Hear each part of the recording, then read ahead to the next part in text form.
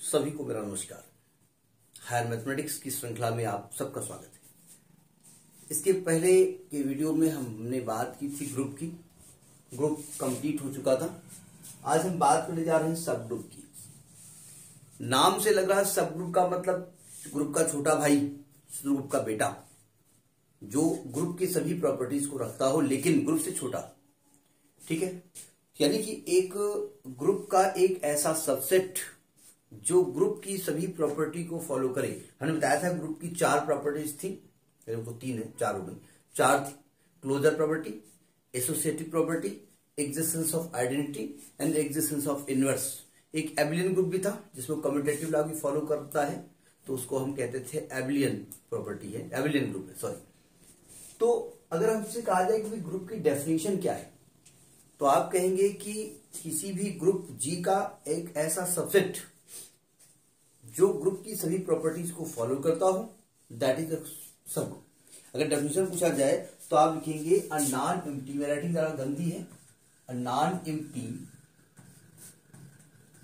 subset subset H of a group G a group G को लिख दीजिए जी binary उसे फ़ायदा ये हो जाएगा कि हम ये बता देंगे कि भाई हम जिस ऑपरेशन के बारे में बात कर रहे हैं दैट ऑपरेशन इज़ बाइनरी जो मैथमेटिकल ऑपरेशन नंबर्स के बीच लगेगा वो बाइनरी है। तो non empty subset H of a group G is called subgroup is called subgroup if it follows all the properties of group, all the properties of a group. Under the operation binary under the operation binary इसके पहले कि आप सब group पढ़ें, आप कृपया group को ज़रूर पढ़ लें। आपके सब्सक्रिप्शन में सॉरी क्या बोल रहा हूँ? आपके डिस्क्रिप्शन में हम उसको दे भी देंगे और, पढ़ भी लिया होगा आपने। ये सब ग्रुप कोई भी अगर सर्च करेगा तो अल्टीमेटली वो ग्रुप तो पढ़ के आया होगा। ठीक है? यानी कि जो चार प्रॉपर्टी थी closure property associative property existence of identity existence of inverse जो ग्रुप फॉलो कर रहा था, उसे इसे फॉलो करना होगा। और अगर और जो एलिमेंट होंगे, वो इस ग्रुप के अंदर से निकाले जाएँगे, इसको हम सब ग्रुप कहेंगे। ठीक है? अच्छा दो प्रकार के सब ग्रुप होते हैं। जैसे मान लिया, एक होता है इम्प्रॉपर इम्प्रॉपर या इसको एक ट्राइबल होता है एक नॉन ट्राइबल होता है। इसको इम्प्रॉपर या ट्राइबल ग्रुप कहते हैं। ट्राइबल ग्रुप देखो इसको याद करने का कोई मतलब नहीं है समझिएगा। जहाँ पर वर्ड ट्राइबल आए उसको उल्टा समझिए कि आपको ट्राई नहीं करना है वो सब ग्रुप होगा। मतलब आपको ट्राई मतलब आपको प्रूफ नहीं करना है वो सब ग्रुप होगा ही। मतलब अगर मैं कहूँ कि सेट ई e, मतलब आइडेंटिटी एलिमेंट का सेट और आप जानते हैं आइडेंटिटी एलिमेंट हर प्रॉपर्टी को फॉलो करता है। And G it G it खुद में जी जब खुद में जी कह रहा हूँ मतलब जी के सभी एलिमेंट आपने ले रखे और जब जी के सभी एलिमेंट ले रखे हैं तो इसका मतलब वो सभी प्रॉपर्टीज़ को फॉलो कर रहा है, ठीक है? इस कार्ड इसमें कहीं दो हैं। Are card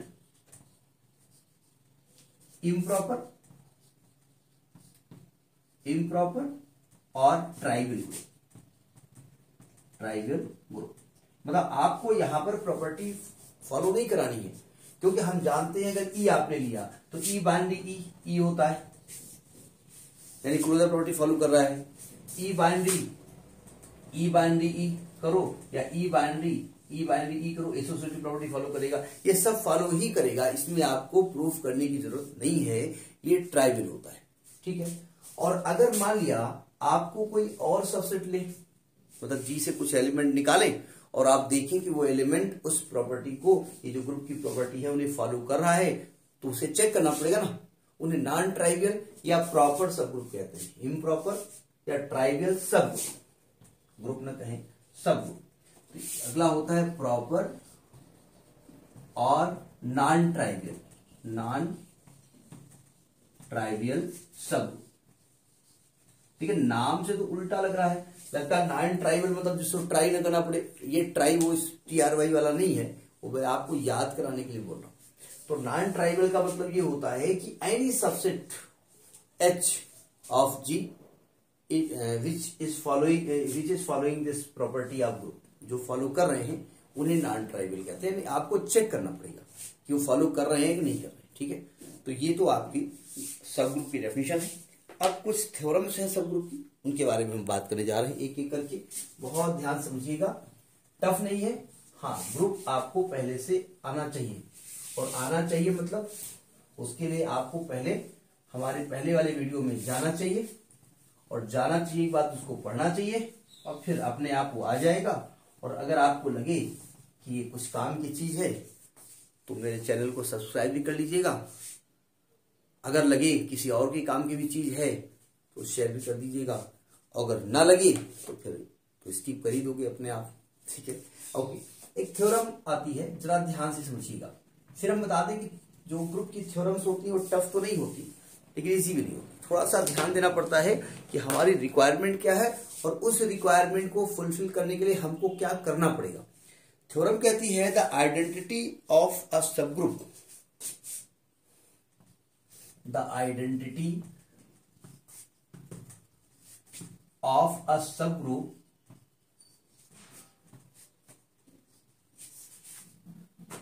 is the same as that of group is the same as that of group मतलब जो सब ग्रुप का आइडेंटिटी एलिमेंट होता है ग्रुप पढ़ लीजिएगा क्योंकि ग्रुप पढ़ोगे तभी समझ में आएगा। ग्रुप नहीं पढ़ा तो मतलब आ, क्या क्या लाइफ जिंगा डाला। ये नहीं किया तो लाइफ जिंगा डाला क्या हुआ? वही यहाँ पर लागू हो जाएगा। ये कह रहे हैं कि अगर एक सब ग्रुप की जो आइडेंटिटी होती है वही होती है जो ग्रुप की आइडेंटिटी होती है। Same as the identity of कैसे प्रूफ किया जाए? देखिए हम क्या करेंगे कि भाई सब ग्रुप का मतलब होता है ग्रुप बड़ा सा सेट है वो चार प्रॉपर्टीज़ को फॉलो कर रहा है उसमें से एक सबसेट निकाला। और मैंने कहा, सपोज़ करिएगा, सब ग्रुप की आइडेंटिटी कुछ और है और ग्रुप की आइडेंटिटी कुछ और है। ये मान लेते हैं, ठीक है? तो इसको प्रूफ करने का तरीका देखिए क्या होता है। जरा ध्यान से समझिए। हमने कहा कि भाई एच जो है, वो सब ग्रुप ऑफ़ जी है। Late H B a subgroup of जी सब ग्रुप ऑफ़ जी और आप ऑपरेशन भी ले सकते हैं बाइनरी ऑपरेशन है। और आप जानते हैं same operation will be here also जो ऑपरेशन जी में है। वही ऑपरेशन यहाँ होना चाहिए। ठीक है? अच्छा अब आपको बताना है कि जो आइडेंटिटी एलिमेंट एच का है, वही जी का है। तो अब उसके लिए पहले दोनों को अलग अलग मानते हैं। हमने मान लिया कि let E be the identity of H and E dash be the identity of G हमने कहा एच की आइडेंटिटी ई है और जी की आइडेंटिटी ई डैश अलग अलग आइडेंटिटी ठीक है। अब आप क्या करेंगे? एक एलिमेंट एच में लेते हैं। Let A belongs to H A हमने एक एलिमेंट लिया। अब आप जानते हैं कि किसी भी एलिमेंट के साथ अगर आइडेंटिटी एलिमेंट ऑपरेट होता है तो वैल्यू चेंज नहीं होती है। याद करिए, एक एडिटिव आइडेंटिटी आई थी कि अगर किसी भी नंबर के साथ एडिटिव आइडेंटिटी प्लस की जाएगी तो नंबर वही रहेगा। याद करिए मल्टीप्लीकेटिव आइडेंटिटी कि किसी भी नंबर के साथ अगर मल्टीप्लीकेटिव आइडेंटिटी ऑपरेट होगी तो वैल्यू वही रहेगी। तो इसका मतलब आइडेंटिटी एलिमेंट जब किसी एलिमेंट के साथ ऑपरेट करता है and E belongs to H यानी ई एच को बिलोंग करता है तो इसका मतलब ये हुआ, अगर ए इंटू ई या बाइनरी ई कर दें तो वैल्यू ए ही आएगी। सही मैं कह रहा हूँ। आप यस आप सही कह रहे हैं, क्योंकि ई जो है एच का आइडेंटिटी एलिमेंट है। अच्छा। ए आप कहाँ से निकाल के लाए हो? ए आपने कहा एच का एलिमेंट है और एक्चुअली ए एच क्या है? एच जी का सबसेट है। तो इसका मतलब ये हुआ कि ये ए जी को भी बिलोंग करेगा। As A belongs to G and E dash also belongs to G क्योंकि आप पहले कह रहे हो कि ई डैश जी का आइडेंटिटी एलिमेंट है। सो so, अगर मैं ए के साथ ई डैश का ऑपरेट करूँ तब भी वैल्यू ए ही आएगी। क्योंकि ये इसका आइडेंटिटी एलिमेंट है। तो अगर इन दोनों इक्वेशंस को देखें तो दोनों के राइट हैंड साइड सेम है। तो by equation one and two अगर दोनों इक्वेशंस को आप देखिए तो आप क्या देख रहे हैं? कि भाई दोनों इक्वल है, क्योंकि दोनों ही आपको रिज़ल्ट सेम दे रहे हैं। तो आप कहेंगे A binary E is equal to A binary E dash ये आप कहेंगे, अब चूँकि लेफ़्ट कैंसिलेशन से ए कैंसिल हो जाएगा तो आएगा E is equal to E dash by left cancellation law हमने यहाँ क्या लगा दिया? लेफ़्ट कैंसिलेशन ला राइटिंग थोड़ा गंदी है। फिर भी मैं अच्छा लिखने की कोशिश कर रहा हूँ। क्या शो हो गया? कि भैया, जो दो आइडेंटिटी आप मान रहे थे ना, वो दो नहीं है। दोनों सेम है। अगर ई e एच की आइडेंटिटी है तो ई एच जी की भी आइडेंटिटी है। दोनों अलग नहीं है। ठीक है? दोनों की बस, फेसियल लगा लिया है। वही वाला मुँह है। जो पहले वाला था ओके तो this is theorem number one of subgroup the identity of a subgroup is the same as that of group next theorem is also the same type of theorem कि the inverse element of the subgroup होता है, वो वही होता है जो group का inverse होता है। ठीक है? तो ये कर लीजिएगा। उसके बाद नेक्स्ट थ्योरम की हम बात करते हैं। और इसी में हम इसको एडिट करके थ्योरम बाय स्टेटमेंट तो राइटिंग गंदी है, उस गंदी में हम और लिखेंगे the inverse of subgroup is as that of the group the inverse inverse of a subgroup is the same as that of group किसी सब ग्रुप का इनवर्स वही होगा, जो ग्रुप का इनवर्स होता है। मतलब अगर मैं मानूं कि कोई एलिमेंट ए है एच में और उसका इनवर्स मान लेते हैं बी है तो वही इनवर्स जी में भी होगा। ठीक है? अब इसका प्रूफ करने जा रहे हैं। जरा समझने की कोशिश करिए। इसके पहले किसको प्रूफ करें? हमने बताया कि प्रॉपर्टी ऑफ़ ग्रुप की थ्योरम्स का वीडियो पड़े हुए हैं। उन्हें प्लीज़ प्लीज़ प्लीज़ देख लीजिएगा। तभी यहाँ पहुंचिएगा। अदरवाइज़ समझ में नहीं आएगा। ठीक है? वैसे आ जाएगा। थोड़ा सा इसमें एक्सप्लेन भी करेंगे।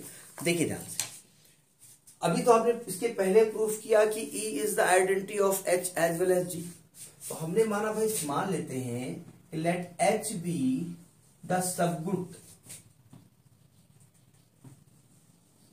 of G बाइंड इसका एक सब ग्रुप है।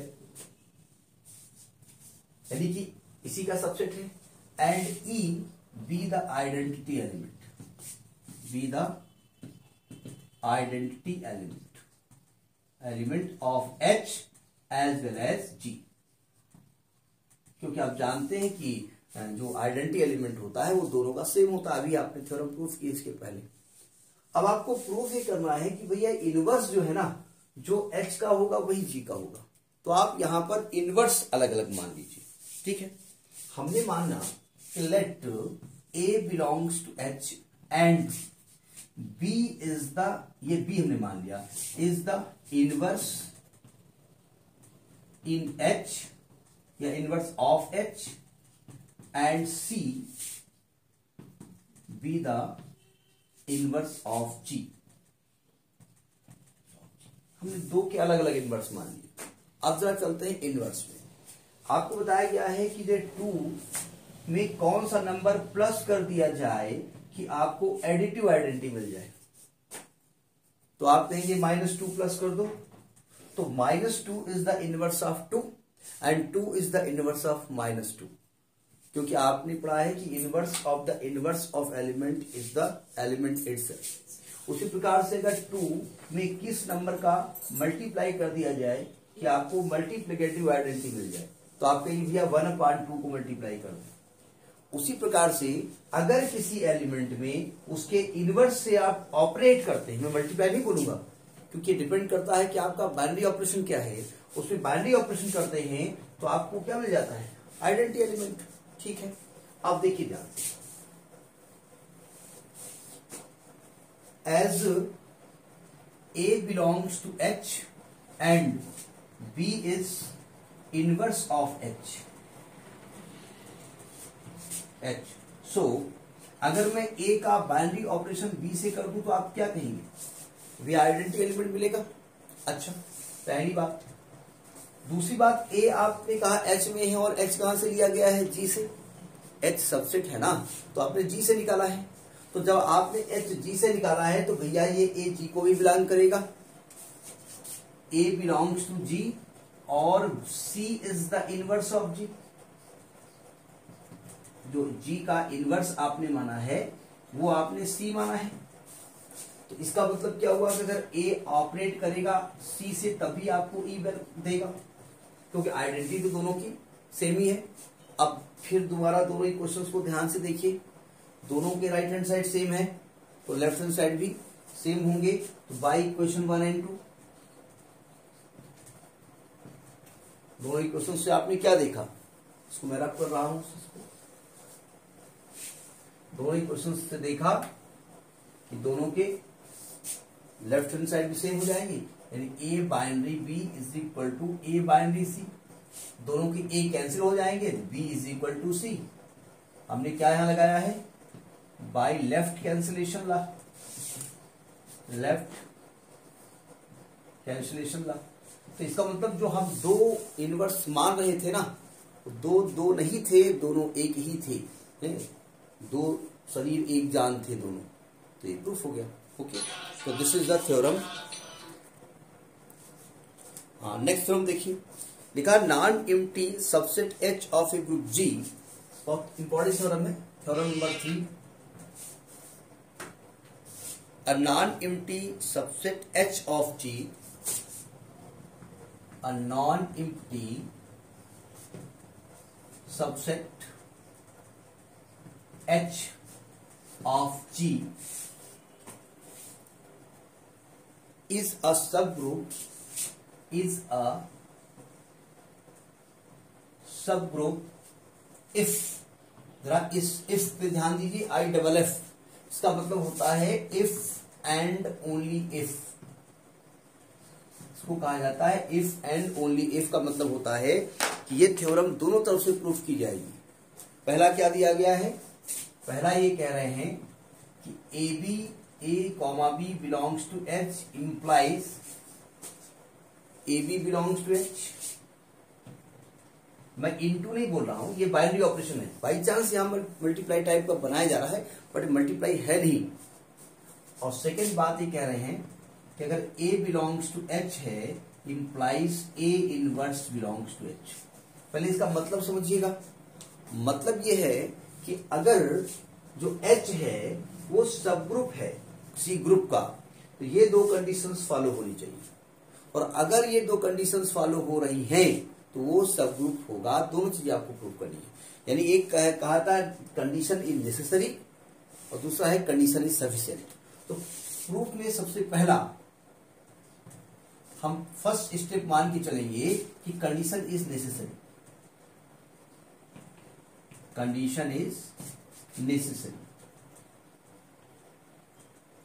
condition is necessary का मतलब मैं ये मान के चल रहा हूँ कि H is the subgroup ये मान के मैं चल रहा हूँ। और हम प्रूफ करके दिखाएँगे ये कंडीशन यहाँ, ये फुलफिल करता है। यानी कि यहाँ पर गिवन हम मानेंगे कि H is a subgroup subgroup of group जी ये ग्रुप जी का सब ग्रुप है और आपको प्रूफ करना पड़ेगा टू प्रूफ कि पहला प्रूफ करना पड़ेगा कि A B belongs to H implies A binary B belongs to H A into binary operation है, ये प्लस भी हो सकता है। और सेकेंड आपको प्रूफ करना पड़ेगा A belongs to H implies A inverse और ये ए इनवर्स का मतलब वन बार नहीं है। इनवर्स ऑफ़ एच का मतलब होता है, ये डिपेंड करता है उसके बाइनरी ऑपरेशन पर, उसके हिसाब से इनवर्स डिसाइड होता है। अब देखो कैसे प्रूफ किया जाएगा। आप जानते हैं कि भैया एच सब ग्रुप है। और सब ग्रुप क्लोजर प्रॉपर्टी को फॉलो करता है कि अगर ए बी बिलोंग करेगा तो A into B belong to करेगा। जो प्रॉपर्टी उसकी होती है।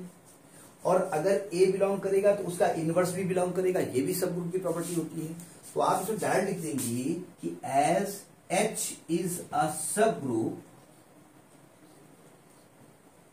subgroup so first and second condition is obviously holds पहली और सेकेंड कंडीशन अपने आप होल्ड हो जाएगी। लिखना चाहो लिख दो बिकॉज़ दिस क्लोजर प्रॉपर्टी और this inverse existence of inverse तो अपने आप फुलफिल हो गई प्रॉपर्टी अब दूसरी प्रॉपर्टी ये है, दूसरी तरीके से कंडीशन इज़ सफिशियंट यानी आप ये गिवन मान के चलिए और इसे सब कुछ प्रूव कर दीजिए। तो देखिए सेकेंड कंडीशन कैसे लिखेंगे? सेकेंड पार्ट यानी इसका उल्टा कन्वर्स ऑफ़ दिस थ्योरम चाहे तो कन्वर्स ऑफ़ दिस थ्योरम कहिए, या कहिए द कंडीशन इज़ सफिशियंट तो स्टेप दो केस टू लिखेंगे, या तो लिख दिए converse of theorem converse of theorem या आप लिख दीजिएगा condition is sufficient condition is sufficient यानी इधर गिवन मान के ये प्रूव करें तो नेसेसरी और ये मान के उल्टा प्रूव करें तो सफिशियंट ठीक है? अब देखिए उसको प्रूव कैसे किया जाएगा। तो यहाँ पर गिवन में हम क्या मानेंगे? पहला ये गिवन है कि A B belongs to H implies A binary B belongs to H और सेकंड मानेंगे कि A belongs to H implies A inverse belongs to H A का मतलब ए नहीं है any element it may be any element और A inverse का मतलब होता है उस ऑपरेशन के हिसाब से इनवर्स एलिमेंट अब देखिए, सबसे पहले हमें क्या बताना पड़ेगा कि भैया क्लोजर प्रॉपर्टी फॉलो कर रहा है कि नहीं कर रहा है? अच्छा ये एक प्रूफ क्या करना है? इसमें टू प्रूफ करना है कि एच इज़ सब तो सब ग्रुप का मतलब ये हुआ कि आपको ग्रुप की चारों प्रॉपर्टीज़ को फुल, फुलफिल करना पड़ेगा कि ये चारों प्रॉपर्टी फॉलो कर रहा है या नहीं कर रहा है। तो सबसे पहले हम प्रूफ करने जा रहे हैं क्लोजर प्रॉपर्टी। क्लोजर प्रॉपर्टी क्या होती है? कि अगर दो एलिमेंट एच को बिलोंग करे तो उनका ऑपरेशन करने पर जो रिजल्टिंग एलिमेंट आए, वो भी एच को बिलोंग करना चाहिए। यानी कि अगर ए और बी बिलोंग करे A B belongs to H implies A into B belongs to H ये पहले से गिवन है। First condition is given by first condition ये कंडीशन पहले से गिवन है। इसका मतलब ये क्लोजर प्रॉपर्टी को फॉलो करता है। So H is close so H is close यानी एच जो है, वो क्लोजर प्रॉपर्टी को फॉलो कर रहा है। पहली प्रॉपर्टी हो गई, ठीक है? अब मैं सेकंड प्रॉपर्टी लेता हूँ, इसको रफ कर देता हूँ। रफ मतलब आप रब नहीं करेंगे, इसके आगे सेकंड प्रॉपर्टी सेकंड प्रॉपर्टी में हमें क्या करना पड़ेगा कि भैया ये एसोसिएटिव प्रॉपर्टी फॉलो करा नहीं कर रहा एसोसिएटिविटी फॉलो कर नहीं कर रहा क्या करेंगे इसके लिए? देखिए, हमें तीन एलिमेंट एच में मानने पड़ेंगे। हमने कहा कि let A B C belongs to H तो प्रूफ क्या करना पड़ेगा? A B in bracket into C is equal to A B into C जो होती है, लेकिन हम डायरेक्ट लिख नहीं सकते। प्रूफ करना पड़ेगा। अच्छा आप जानते हैं कि एच है क्या? आप कहेंगे एच सबसेट है जी का जी के कुछ एलिमेंट एच में ले लिए गए हैं। तो as H is the subset of G इसका मतलब ये हुआ कि जो एलिमेंट आपने एच में लिए हैं, वो जी में भी होंगे। इसका मतलब ये हुआ कि भैया जो तीन एलिमेंट आपने माने हैं ना एच में, वो जी में भी होंगे। और जी भाई साहब क्या है? जी भाई साहब ग्रुप है। H G is group G is group so ये एसोसिएटिव प्रॉपर्टी फॉलो कर रहा है। हमको मालूम है पहले से। क्योंकि जी ग्रुप है, वो एसोसिएटिव प्रॉपर्टी फॉलो करता है। इसका ये एलिमेंट है किसके? एच के। इसका मतलब एच में भी ये फॉलो कर रहा है। वही तो रूल ये फॉलो कर रहा है यहाँ पर। So it follows associative law associative law in H ये एच में भी एसोसिएटिव लॉ को फॉलो करता है। ठीक है? अब हम बात करेंगे एग्जिस्टेंस ऑफ़ आइडेंटिटी की। कि आइडेंटिटी एलिमेंट इसमें है कि नहीं है तो थर्ड प्रॉपर्टी देखिएगा। एग्जिस्टेंस ऑफ़ आइडेंटिटी इसको रब नहीं कर सकते, इसका यूज़ करना पड़ेगा। तो third property existence of identity ये हम जानते हैं कि जो आइडेंटिटी एलिमेंट जी का होगा, वही आइडेंटिटी एलिमेंट एच का होगा, पहली बात, ठीक है? और जो इनवर्स जी का होगा, वो एच का होगा, दूसरी बात, ठीक है? ये हम जानते हैं। लेकिन आप कहेंगे, अभी आपको सब ग्रुप माने नहीं तो आप जी को तो जानते ना ग्रुप है। तो देखिए आइडेंटिटी प्रूव करने हम जा रहे हैं। ये हम जानते हैं, कोई एलिमेंट इसको बिलोंग करता है तो उसका इनवर्स भी बिलोंग करता है। यानी कि as a belongs to H implies a inverse belongs to H ये हम जानते हैं बाय सेकेंड कंडीशन भाई, दूसरी जो कंडीशन गिवन है वो यही तो कह रही है कि कोई भी एलिमेंट बिलोंग करेगा तो उसका इनवर्स भी बिलोंग करेगा। और ये भी जानते हैं कि अगर दो एलिमेंट बिलोंग कर रहे हैं तो उनका ऑपरेशन करने के बाद जो रिजल्टिंग एलिमेंट आएगा वो भी एच में होगा। यानी कि a belongs to H and a inverse belongs to H implies इनका ऑपरेशन ही बिलोंग्स टू एच और आप जानते हैं ए ए इनवर्स क्या होता है? ई e होता है, यानी ई बिलोंग्स टू एच यानी कि इसमें आइडेंटिटी एग्जिस्ट करती है, यानी कि thus identity element exist identity element exist in H H में आइडेंटिटी एग्जिस्ट कर रही है, यानी कि एक प्रॉपर्टी और ही फॉलो कर गई। नेक्स्ट क्या करना है? कि भाई इनवर्स एग्जिस्ट कर रहा, नहीं कर रहा। तो नेक्स्ट आता है एग्जिस्टेंस ऑफ़ इनवर्स उसके बारे में बात कर लेते हैं, इसको नोट कर लीजिएगा। समझ लीजिएगा नोट मतलब नहीं कहेंगे कि इनवर्स एग्जिस्ट कर रहा नहीं कर रहा एग्जिस्टेंस ऑफ़ इनवर्स चौथी प्रॉपर्टी देखिए इनवर्स एग्जिस्ट करेगा, उसके लिए कुछ कहने की ज़रूरत नहीं। पहले कह रहा है, अगर ए एच को बिलोंग करता है इनवर्स एच को बिलोंग करेगा? यानी कि अगर if a belongs to H implies a inverse belongs to H by second condition so inverse also exist so inverse inverse in H exist it means it is following all the four property so G is a group so H is अब सब सब hence group भाई, आपने क्या कहा था? Second condition में कि भाई, ये कंडीशन फॉलो करें तो आप उसको सब ग्रुप को प्रूव कर दो। हमने कहा, ठीक है। चारों प्रॉपर्टीज़ हमने फॉलो करा दी। हमने कहा सब ग्रुप हो गया। तो दिस इज़ द थर्ड ठीक है? नेक्स्ट थोड़ा देखिए। देखिए, ये थ्योरम क्या कह रही है? The necessary and sufficient condition that a non empty subset H non empty subset H of a group G is to be a subgroup as if a belongs to H and b belongs to H implies a b inverse belongs to H जरा समझने की कोशिश करिए, हमने non empty subset बोला है। हमने ये नहीं कहा वो सब ग्रुप है। यानी कि एलिमेंट तो जी से लिए गए हैं, लेकिन वो सभी प्रॉपर्टीज़ को फॉलो करेगा तभी वो सब ग्रुप होगा। तो सबसे पहले आप क्या करेंगे कि उसको सब ग्रुप मान के चलेंगे और ये कंडीशन फॉलो करेंगे। वो हो जाएगी नेसेसरी कंडीशन और बाद में इस कंडीशन को मानेंगे गिवन है और सब ग्रुप प्रूव करेंगे तो वो सफिशियंट हो जाएगा। तो पहला स्टेप हम ये लेके चल रहे हैं कि the condition is necessary condition is necessary उसके लिए हम गिवन क्या मानेंगे? हम गिवन मानेंगे कि H is a subgroup subgroup है सब ग्रुप ऑफ़ G ये हम गिवन मानेंगे और प्रूफ क्या करेंगे? कि अगर ए बिलोंग्स टू एच है and B belongs to H है implies a b inverse also belongs to H इसे प्रूफ करने जा रहे हैं। जरा समझने की कोशिश करो। थोड़ा सा, आप जानते हैं कि चूँकि सब ग्रुप है तो सब ग्रुप की सभी प्रॉपर्टीज़ को ये फॉलो करेगा। ठीक है? कैसे प्रूव करेंगे? कि as is a subgroup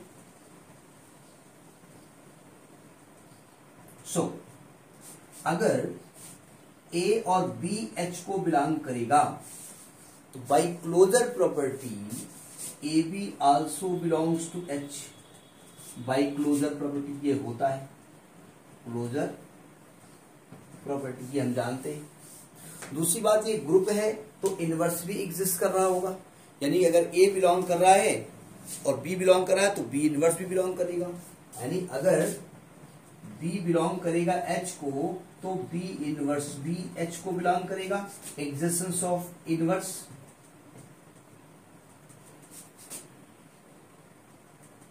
ये भी हम जानते हैं। अब क्या करेंगे? अब देखिए। ए बिलोंग्स टू एच है और b inverse belongs to H है, दो एलिमेंट है कि भैया ए है और बी इनवर्स है। और हम जानते हैं अगर दो एलिमेंट हैं तो उनकी, उनका जो ऑपरेशन है, वो भी एच को बिलोंग करेगा। यानी implies a b inverse also belongs to H तो hence proof the first part first part इसका प्रूफ हो गया। ठीक है? ये क्लोजर प्रॉपर्टी यहाँ पर हमने आप लगा दी इसमें। ठीक है? तो ये आपकी क्लोजर प्रॉपर्टी फॉलो हो गई। It is this condition is necessary अब आते हैं द कंडीशन इज़ सफिशियंट वो थोड़ा लेंदी होगा। क्योंकि आपको ग्रुप की सभी प्रॉपर्टीज़ को फुलफिल कराना पड़ेगा। देखिए ये ध्यान रहे ये सब ग्रुप प्रूव करना है तो चार property closure associative existence of identity existence of inverse तो स्टेप टू में हम क्या मानेंगे? The condition is sufficient the condition is sufficient मतलब क्या करना पड़ेगा? यानी कि हमको गिवन में जो मानना पड़ेगा कि अगर ए और बी बिलोंग्स टू एच है implies a b inverse H को बिलोंग करते हैं, और जो हमको प्रूफ करना पड़ेगा कि एच इज़ अ सब ऑफ़ जी तो एच जो है, वो जी का सब ग्रुप है। देखिए प्रूफ करने जा रहे हैं, सावधान। सबसे पहले हम क्लोजर प्रॉपर्टी ले रहे हैं। क्लोजर प्रॉपर्टी क्या कहती है? कि अगर दो एलिमेंट बिलोंग करते हैं तो उसका जो ऑपरेशन है, वो भी बिलोंग करना चाहिए। ठीक है? जरा देखिए ध्यान से। सावधान। देखिए ए और बी मान लेते हैं एच को बिलोंग करना है। अब थोड़ा लफड़ा यहाँ पर है। आपके पास ये कह रहे हैं कि बी इनवर्स भी एच को बिलोंग करता है। और आपने माना a b belongs to H then नहीं and if b belongs to H तो implies b inverse also belongs to H पहले आप बोल रहे हो कि ए बी इनवर्स भी इसमें है। भाई बी इनवर्स आ रहा है। अब देखो ध्यान से। अगर मैं मान चूँकि हमको प्रूफ क्या करना है? A into b belongs to H ऐसा कुछ दिया नहीं गया अब देखो a belongs to H a belongs to H and b inverse belongs to H है तो देखिए अगर ये दो एलिमेंट बिलोंग करते हैं तो दिस इंटू इसका इनवर्स ये बिलोंग करेगा। यानी कि ए इंटू बी इनवर्स का इनवर्स भी एच को बिलोंग करेगा बाई गिवन कंडीशन कंडीशन क्या कह रही है? कि अगर बी है तो इसका इनवर्स भी मल्टीप्लाई कर सकते हो। यानी बी इनवर्स है तो बी इनवर्स का इनवर्स भी मल्टीप्लाई कर सकते हो। तो आप जानते हैं, किसी भी इनवर्स का अगर इनवर्स कर देते हैं तो वही एलिमेंट आ जाता है। यानी कि क्या प्रूफ हो क्या गया? A b belongs to H so closure property holds closure property holds writing गंदी है, देख लीजिएगा यानी कि क्लोजर प्रॉपर्टी को ये फॉलो कर गया। ठीक। अब बात करते हैं associative property next property is associativity देखिए। Property number two associativity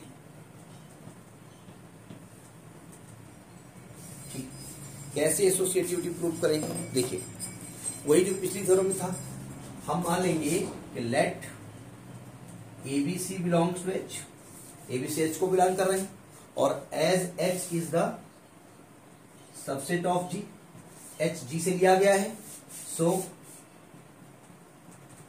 ABC जी को भी बिलोंग करेंगे, और जी क्या है?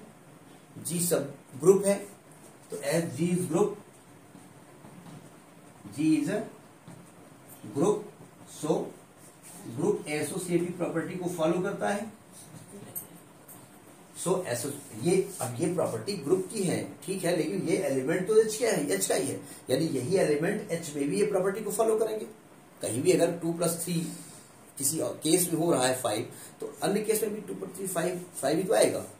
So associative property hold associative property holds in G in H holds in H also यानी एच में भी ये होल्ड कर रही है। तो ये आपकी एसोसिएटिव प्रॉपर्टी होगी अब क्या करना है? एग्जिस्टेंस ऑफ़ आइडेंटिटी रब करते हैं फिर। नेक्स्ट एग्जिस्टेंस ऑफ़ आइडेंटिटी देखिए। कि भाई आइडेंटिटी एलिमेंट एग्जिस्ट कर रहा नहीं कर रहा है। तो थर्ड प्रॉपर्टी करेंगे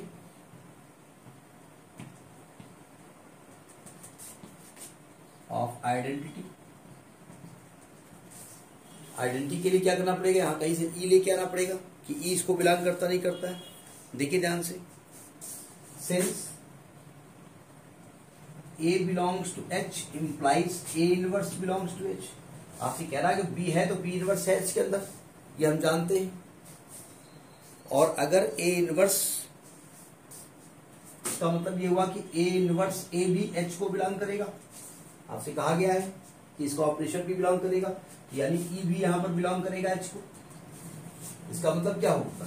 So identity exist